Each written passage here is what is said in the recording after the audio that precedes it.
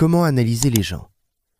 Découvrez toutes les techniques de psychologie comportementale pour lire les pensées et comprendre ce qui se cache derrière les mots. De Gilles Garcia. Lu par Jonathan Brandt.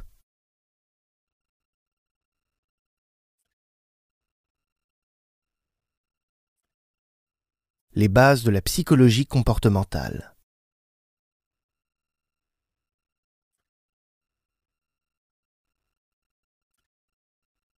Comportement. Aussi appelé behaviorisme ou psychologie comportementale, le behaviorisme est une branche de la psychologie qui a des origines lointaines. En fait, il a été développé au début du XXe siècle par l'illustre psychologue John Watson. Que fait cette branche? Analyser le comportement explicite de l'individu en fonction des stimuli auxquels il est soumis et de l'environnement qui l'entoure. Pour les comportementalistes, l'esprit est considéré comme une boîte noire, c'est-à-dire une boîte noire dont le contenu n'est ni l'objet d'étude, ni d'importance spécifique ou pertinent. Leur seul intérêt est de parvenir à une compréhension absolue des relations entre les stimuli environnementaux et les réponses comportementales de l'individu. Cette approche de la psychologie était pour la première fois subjective plutôt qu'abstraite. Ce concept a d'abord été nourri par le psychologue John B. Watson, qui a été le premier à considérer le mouvement de certains muscles, même involontaires, ce qu'on appelle les micro-expressions, comme un comportement.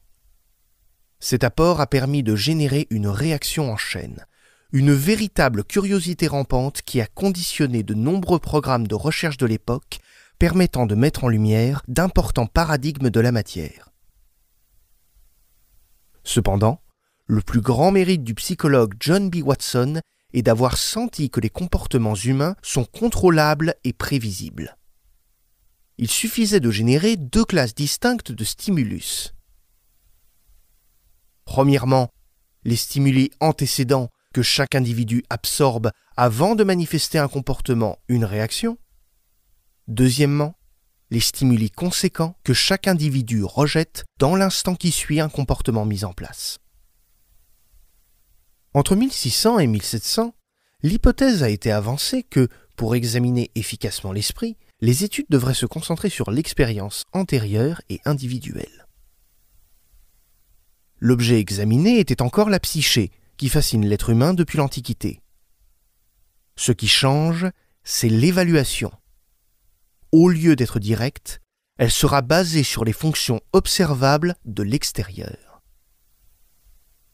Nous pouvons donc dire que le behaviorisme représente un changement de perspective qui nous oblige à examiner les émotions, les habitudes, les personnalités individuelles, l'apprentissage, etc., exclusivement à travers les manifestations observables et tangibles en matière de comportement.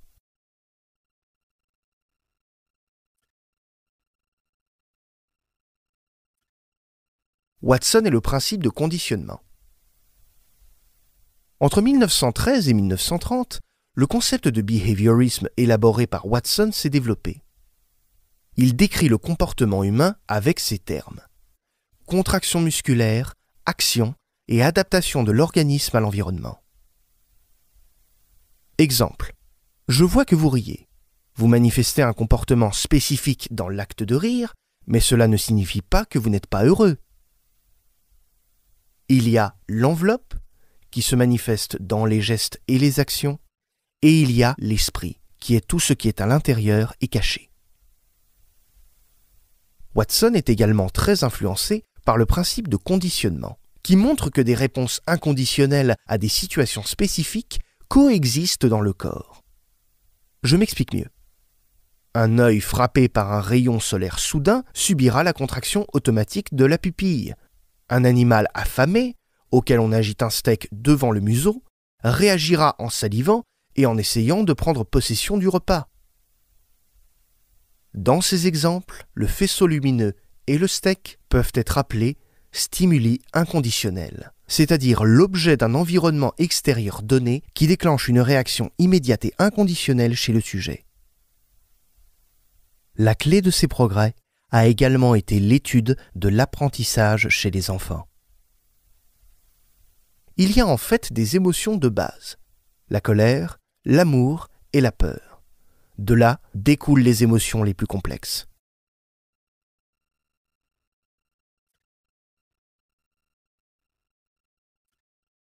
Les émotions du petit Albert. J'attire maintenant votre attention sur une étude assez connue sur l'apprentissage émotionnel. Albert jouait avec une souris quand un jour, au moment où la souris arrivait, un rugissement soudain a été généré. En raison du principe de conditionnement, l'enfant associe la présence de souris à une grande peur.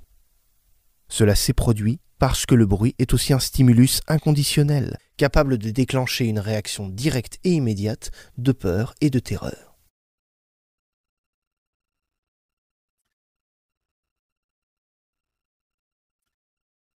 Psychologie cognitive. Également connue sous le nom de cognitivisme, la psychologie cognitive est une branche de la psychologie appliquée à l'étude des processus cognitifs.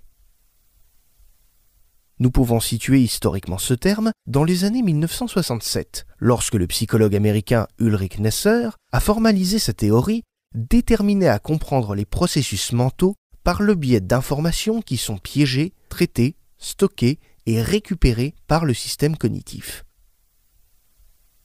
Une fois de plus, l'objet examiné est l'esprit, mais cette fois-ci perçu comme un intermédiaire entre comportement et activité cérébrale.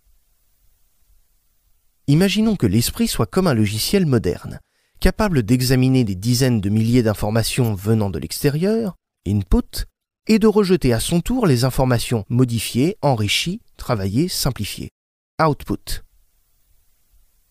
Quels sont les processus mécaniques de ce logiciel?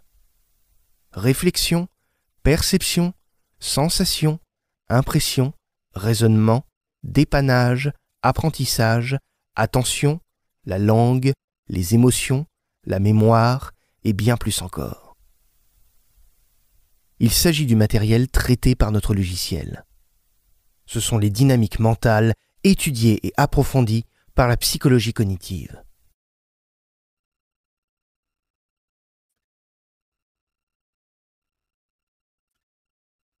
Les origines de la psychologie cognitive. Vers la fin des années 50, dans le but de critiquer les hypothèses du behaviorisme, la psychologie cognitive est née.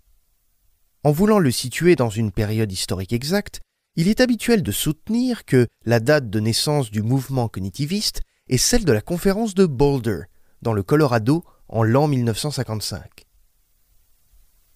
Il est très complexe et fastidieux de mettre à plat les différentes méthodes cognitives de recalcul de notre esprit en respectant les paramètres de la psychologie cognitive le risque est aussi grand que possible. Ce guide ne se veut pas un traité de psychologie, mais vous fournira les outils et les notions de base pour vous familiariser avec l'esprit humain et les développements théoriques dans lesquels il joue un rôle prépondérant. Dans cette optique, veuillez me pardonner si j'en arrive directement au cognitivisme d'aujourd'hui. La psychologie cognitive moderne est une science hautement multidisciplinaire, qui fait appel aux connaissances et aux expansions de nombreuses disciplines, par exemple les neurosciences, la linguistique, la psychologie, les sciences de la communication, l'intelligence artificielle, les mathématiques, la philosophie, la physique et l'informatique. La psychologie cognitive, d'un point de vue philosophique, est prête à accepter l'existence d'une réalité extérieure structurée, mais s'abandonne à l'incapacité de la déchiffrer et de la connaître complètement. Les résultats les plus récents des études sur les processus cognitifs attire l'attention sur les contextes sociaux dans lesquels se déroule la pensée. On peut donc dire que l'objet de l'étude s'est jusqu'à présent déplacé vers l'interaction entre cognition et contexte social. En ce qui concerne l'étude spécifique des personnalités, la théorie sociale cognitive reste l'un des leaders fermes de l'évolution dans ce domaine. La psychologie cognitive a également fourni des éléments de réflexion qui, en linguistique, ont favorisé des révélations importantes dans les mécanismes de compréhension du texte.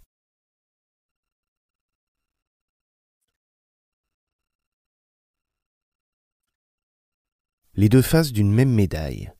Des différences substantielles entre le behaviorisme et la psychologie cognitive. Mais alors, en nous débarrassant de cette première explication didactique en termes simples, quelles sont les différences entre ces deux branches de la psychologie Et pourquoi sont-elles importantes pour les avancées du siècle dernier qui nous ont conduit aux conclusions modernes?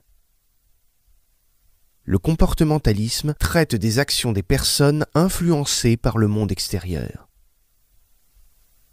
D'autre part, la psychologie cognitive se concentre sur la manière dont le processus mental peut modifier individuellement le comportement d'une personne. Est-ce plus clair pour vous? Ces deux écoles de pensée différentes ont en commun l'étude du comportement humain.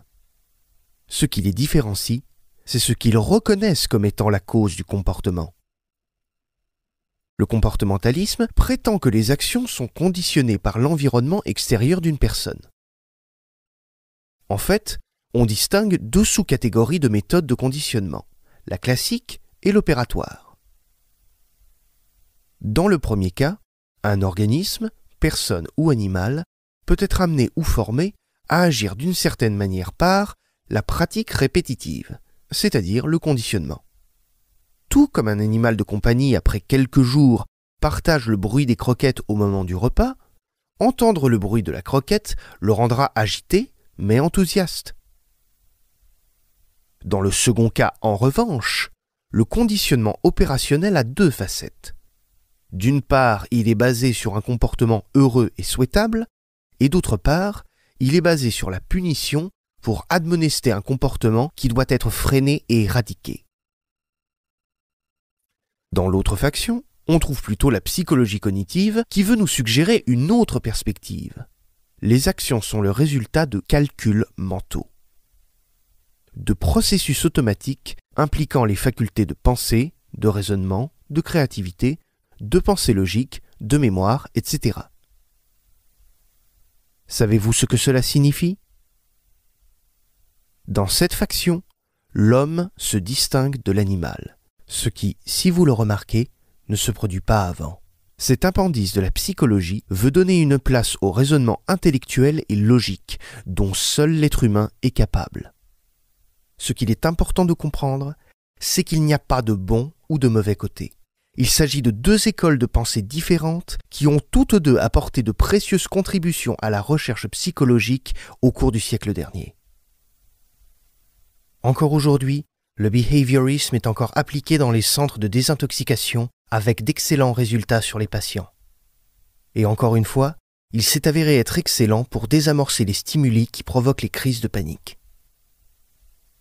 Comme la psychologie cognitive est plus susceptible d'impliquer des émotions, on voit clairement qu'elle est couramment utilisée pour traiter les tendances suicidaires, la dépression, les troubles anxieux et de nombreuses autres affections psychiatriques. Notre voyage à la découverte du comportement des autres commence ici même, au stade de l'évolution de la psychologie et de la science. Parce que pouvoir analyser votre interlocuteur d'un seul coup d'œil ou en entendant le son de sa voix est un art raffiné qui demande de l'attention, de l'empathie et beaucoup de discipline. Mais je vous préviens, une fois que vous pouvez voir et sentir, ce qui n'est pas toujours la même chose, il n'y a pas de retour en arrière le pouvoir de la connaissance est entre vos mains. Bonne chance.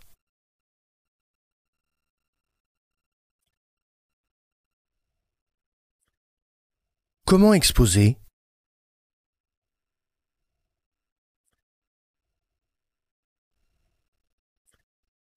Qui vous ment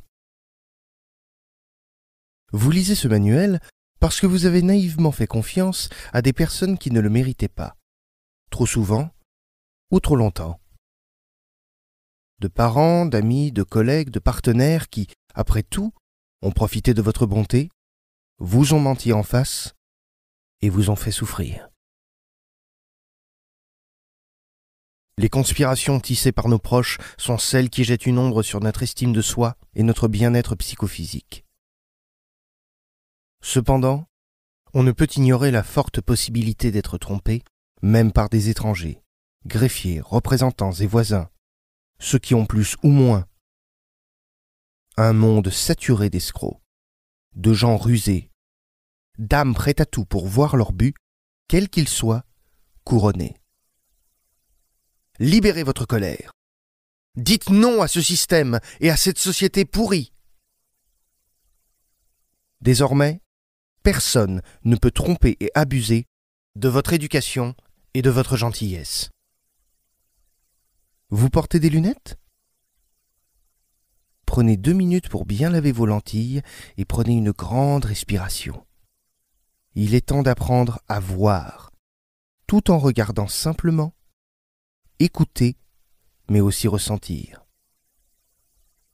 Votre interlocuteur ne peut pas savoir que, pendant qu'il raconte ses mensonges, en les faisant passer pour la vérité, vous l'avez déjà démasqué en interprétant les micro-expressions de son visage, le ton strident de sa voix et ses gestes.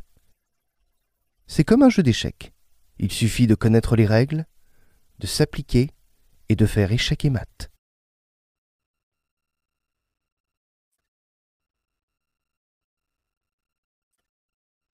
Les yeux et le visage ne mentent jamais.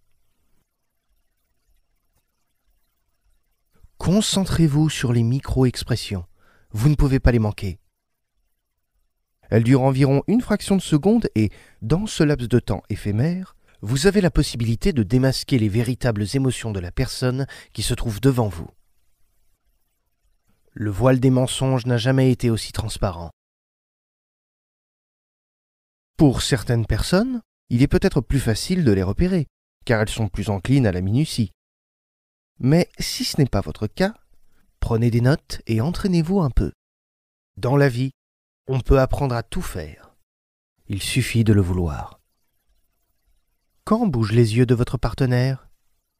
Selon les études scientifiques répétées et prouvées, lorsque nous mentons, ou que nous essayons d'inventer des informations qui ne s'inspirent pas de la réalité, nos yeux se déplacent vers le haut à droite. Pour les gauchers, le discours n'est valable que si l'on considère le côté opposé. Un autre signe évident de mensonge est le frottement des yeux. Geste involontaire plus fréquent chez l'homme que chez la femme.